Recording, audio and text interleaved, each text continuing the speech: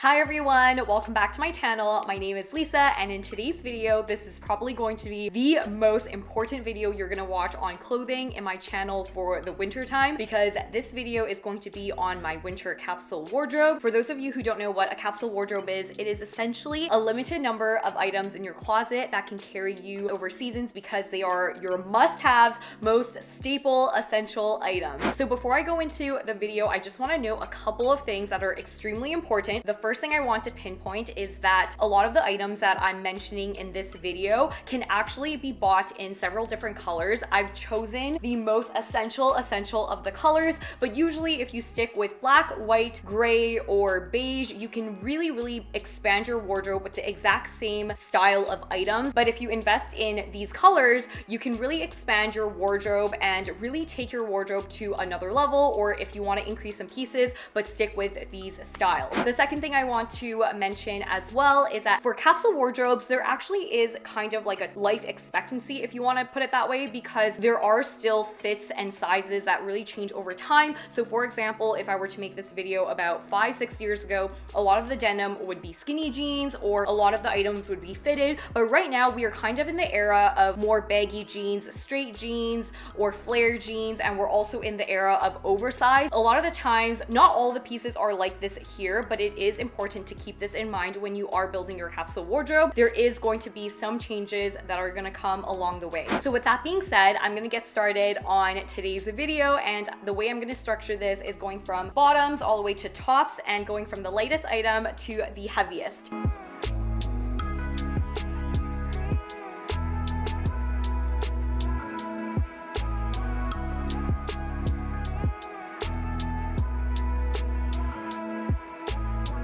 Starting with the first item is this straight skirt right here. Honestly, if you invest in a black straight skirt, it is going to take you through so many different outfits. And the reason why I still put this in the wintertime is because if you wear a pair of sheer black tights, it can actually take you through fancy dinners and Christmas parties, etc. Will still keep you warm, especially if you have warm tights and you can wear it with booties. And this is a great piece to have in your closet to dress up. The second item is another another dress up category, but in the pants category. So it's going to be a pair of leather pants. These ones are the Aritzia Melina pants. These ones are such a staple. So many people have this. This is also something I see you wearing going out for nice dinners, to bars, or just on an occasion that you want to dress up. You can also dress this down actually with sweaters, cool colors, stuff like that. So it is definitely an essential in your closet. For a pair of leather pants, I definitely would recommend starting with black, but when you're ready to expand in your closet, you can can also check out some of the other neutral colors as well. The next item is a pair of dress pants and these ones I got from Dynamite and they're also in the color black. This is definitely something you need in your closet, especially in black. After this, I would probably go with gray and tan, but starting off with black, this is absolutely an essential. It honestly goes with everything, especially all of the tops that we are going to be talking about. And they are a little bit flared at the bottom, so it looks really good with sneakers or pointy boots, etc. But it is such a great pair of pants. They're also so comfortable. I wear this about two times a week. Honestly, it's not something you can't have in your closet. Moving on to denim. This is basically the denim version of the pair of pants that I just mentioned earlier. So this pair is a little bit more flared pants at the bottom. For the sake of a capsule wardrobe, I picked denim that don't have rips, but you're also welcome to get these exact same styles in different colors and in rips, etc. One color that I really do recommend that you have in your closet during the winter time though is a winter white. So not a white that is like a super piercing snow white, but one that is a little bit more muted, such as this one. This pair I got from Pretty Little Thing. It is super comfortable. It goes with everything. And this shade of white is honestly perfect for the winter time. It goes with all of the lighter colors and tan colors without looking super summery. The next and last pair of denim that is in my capsule wardrobe is a pair of straight jeans. So these ones I got from Citizen of Humanity once again, they do not have rips in them because like I said, I wanna keep this timeless and you are welcome to get a straight pair of pants with rips. This is probably the closest thing you can get to a pair of skinny jeans. They still look really, really good with ankle boots or combat boots. So I absolutely think this is such a great staple. A lot of people don't like the buttons like this on jeans, but for me, I actually prefer them because I feel like it gives me a little bit more breathing room. So I really, really like them. And I definitely recommend investing in this color as well as black black, winter white, etc. So the first top that I wanna share with you is this top right here. This is a thin turtleneck. It is basically almost in a shirt material. It's not wool at all. It's quite fitted. The reason why everyone needs this in their closet is because of two reasons. Number one, you can wear it on its own, especially if it's a warmer winter day, you can wear it on its own with all of the bottoms we mentioned and layer it with a blazer, or you can also wear this, and this is one of my favorite ways to wear it, is wear it under a crew neck sweater. It basically allows you to really layer up in the wintertime by adding an extra layer at the bottom with the crew neck. It looks super stylish. You can clearly see the layering pieces. The two colors that I really recommend in getting for a fitted turtleneck is white and black. So I'm gonna show you examples from my Instagram as well, how I've styled it, but this is one of my favorite, favorite ways to style this turtleneck. The next item, I don't think anybody is surprised, especially if you follow me on Instagram or TikTok, because I did an entire dedicated styling video to this shirt right here. Just to keep in mind, it is an Oxford shirt. The material is slightly big thicker and it is more form fitting. Whereas there are some shirts that are very, very thin. They also wrinkle very easily. So make sure when you're looking for a shirt like this to type in Oxford shirt. The one that I have is from Zara. I actually left the item number in my reel and my TikTok so you can check those out. This shirt is one of also the other shirts that I don't really think is necessary to have other colors. Just getting the white is fine. For me, this shirt takes me such a long way. I can wear it on its own with all of the bottoms that we've mentioned, but it can also be layered under under crew neck sweaters, sweater vests, etc. So this is definitely a piece that you need in your closet to have that really stylish look and put together look for your winter wardrobe. The next item that I have for you is actually a set. So it is a sweatshirt, sweatpants set with the rise of athleisure and loungewear. It is so key to invest in a matching set. So here I have white to show you, but other colors I would invest in are definitely white, black, tan, and if you want to have a little bit of color, right now dark green is super in, but these are some of the colors that I would definitely recommend investing in. You can also pick either hoodie or crew neck, but I'm gonna sell you on the hoodie more than the crew neck. If you had to pick one with some of the later coats that I'm gonna show you, it's extremely stylish to throw on top of a set, but with the crew neck, it really messes up the front, whereas with having a hoodie, you're able to pull it back and really have that put together look. So I personally prefer hoodies over crew necks when it comes to sweat sets. Obviously, I do have both, but if I had to pick one, I would pick the hoodie version and it's just so comfortable in your closet, especially if you're on a plane, if you just wanna kind of hide your face or if you're walking in the cold and it's super cold and you wanna protect your head. It's also one of the other reasons why I would definitely always pick a hoodie over a crew neck. This set I actually got from Pretty Little Thing as well and it's super cute and I'm definitely gonna also invest in different colors. Going into sweaters, I actually have four styles of sweaters that I wanna recommend. And once again, a lot of the colors you can continue to add on, but the three colors that I would definitely stick with are white, black, and light gray. So the first style I wanna share with you is a V-neck sweater. And once again, since we are in the age of oversized, this is a oversized V-neck sweater, whereas a few years ago, a V-neck sweater is still in, but it was just a little bit more fitted. This one I have here is from Oak + Fort, and this is super, super cute to wear with a lot of the items, especially the bottoms that I've shared. You can also wear the Oxford shirt that I shared before, but this is honestly one of my favorite sweaters to wear in the wintertime. The next sweater is probably the most essential sweater that I have mentioned, and I've mentioned it so many times earlier in this video, which is a crew neck sweater. So a crew neck sweater is basically this type of neckline, and this is a wool sweater. This one I also got from Oak + Fort, and it also is a little bit oversized. I love wearing this on its own, and I also love wearing it with my white turtleneck that I showed you earlier underneath. I actually would recommend brown, but brown is a color that is super in this season. I do see it as a staple, but whether or not it will be continued to carry forward in the next few years is still a question mark, but I would definitely invest in either like a white, black, gray, etc. This style is definitely essential in your closet. The next item I wanna share with you is just a regular turtleneck sweater, and this one is not super, super fitted, but this is a wool sweater. This is what I mean by the difference between these two. As you can see, this one is extremely thin and this one is thicker and in a wool material. Both have its own purposes, but this is also another item that you need in your closet. Here I have it in the light gray and I got this from Zara, but I also have it in the black as you see that I'm wearing it right now. This one is from Aritzia. Having it in a winter white, a light gray, dark gray, etc. A black is definitely essential in your closet. The next item that I wanna share with you is actually a turtleneck dress and you are going to be surprised at the number of times this dress has saved my life. It honestly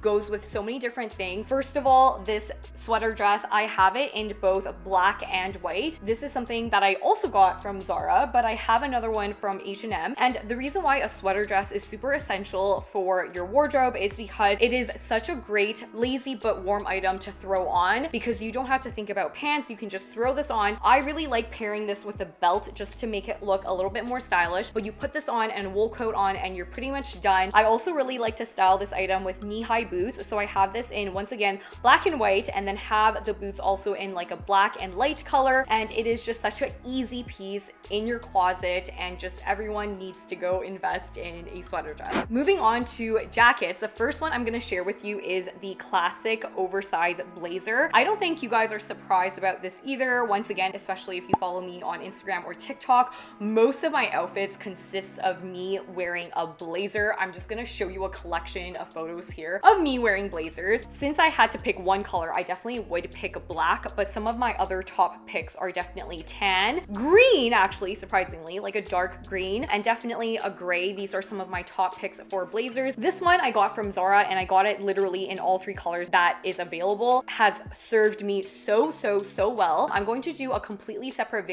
on my entire blazer collection, but basically this is something that you definitely need in your closet and it just looks good with so many different outfits. The next item I actually thought was a little bit too stylish to put in this video, but then I changed my mind because I realized after rewatching Friends that Rachel Green wore this all the way back in the 90s. So I realized it is something that's always gonna circle back around, even if it is gonna hit pause for a little bit. But I actually don't think this item is going to hit pause anytime soon, but essentially it is a leather trench coat. So having a trench coat in general is definitely a must have. Right now, the leather trench coat is super in. Even if you don't want leather, just take this item as just having a trench coat in your closet. Popular colors, definitely get it in a black or dark brown or something like that. But this is definitely something that is super essential in your closet and it gives that really like stylish piece. And if you get a thinner trench coat, you can actually layer it with more items in your closet, such as a wool coat to have that very nice layering effect. Here I have the black trench coat and I get so many compliments on this jacket. I also just don't really see it going out of style. And even if it does, like I said, I think it will just hit a pause and kind of continue on. This item out of all the coats that I have and will recommend is going to be the one and only one that I am very adamant on. And it is a wool blazer jacket wool long blazer jacket. So this is what it looks like. I got this from Oak + Fort. I have had this jacket for about seven years now. I still wear it every winter, every season. Just to prove to you how old this jacket was, this was the old Oak + Fort logo. They used to go by a brand called Knoll. Only the OG Oak + Fort fans really will remember this, but this is how old this jacket is. Like this doesn't even exist anymore.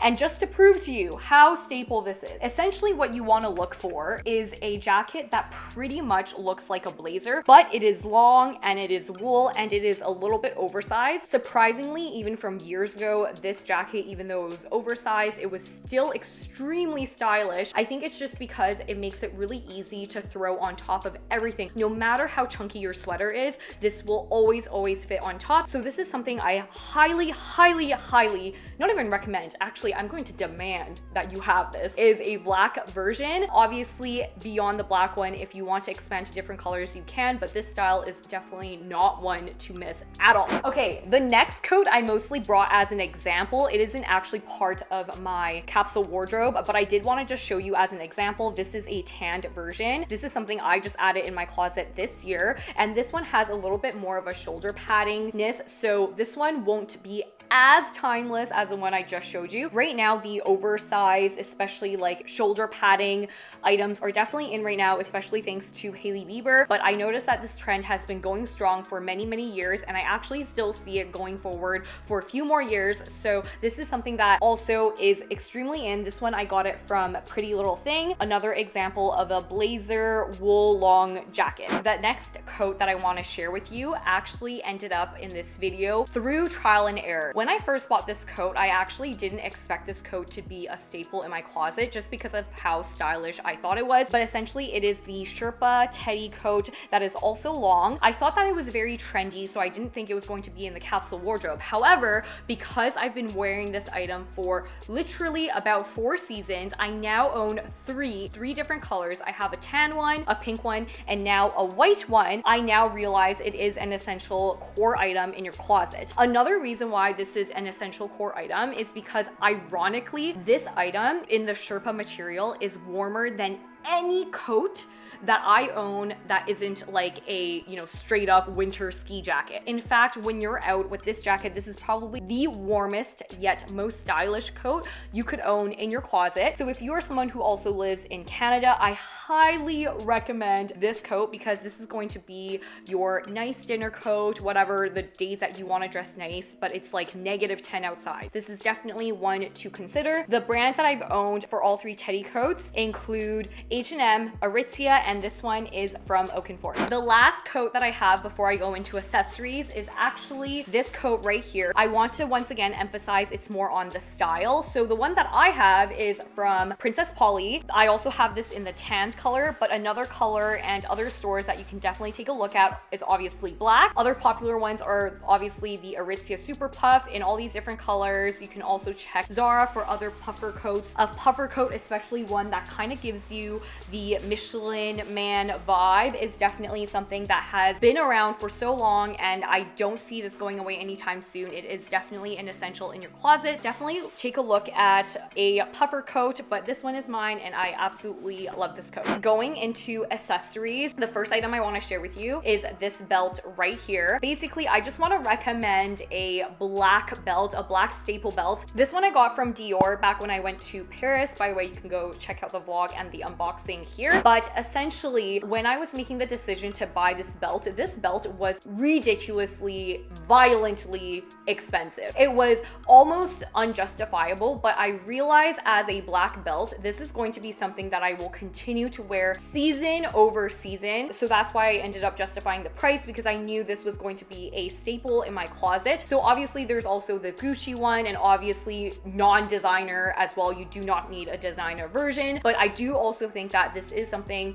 that is going to be around for a very long time around your pants, around your waist, etc. It is definitely worth, you know, investing in having like a good quality leather belt. So ways that I would wear this in a Dior belt is I've worn it on top of blazers, for my pants, on top of coats, etc. Honestly, it is just such a staple, especially for the winter, and I highly recommend. The next two items that I want to recommend are both scarves. So these are the two scarves that I honestly just never see going out of style. These are both wool scarves. The first one is with a little frilly thing and one is without. I think that by owning these two styles of scarves, honestly, you just can't go wrong. You will just genuinely never run out of combinations and it will never run out of style. So you are able to also invest in a very, very good quality one. This one I have here is from Oak + Fort, which as of filming, it is still in stock. This one I got from Dynamite, but both of these are extremely staple items, very, very essential. I've been looking for these scarves for a very long time and finally got them this season. With that being said, that is pretty much the video for today. I hope you guys found this helpful and make sure you are subscribed to this channel as well as follow me on Instagram and TikTok and I will see you guys in the next video. Bye!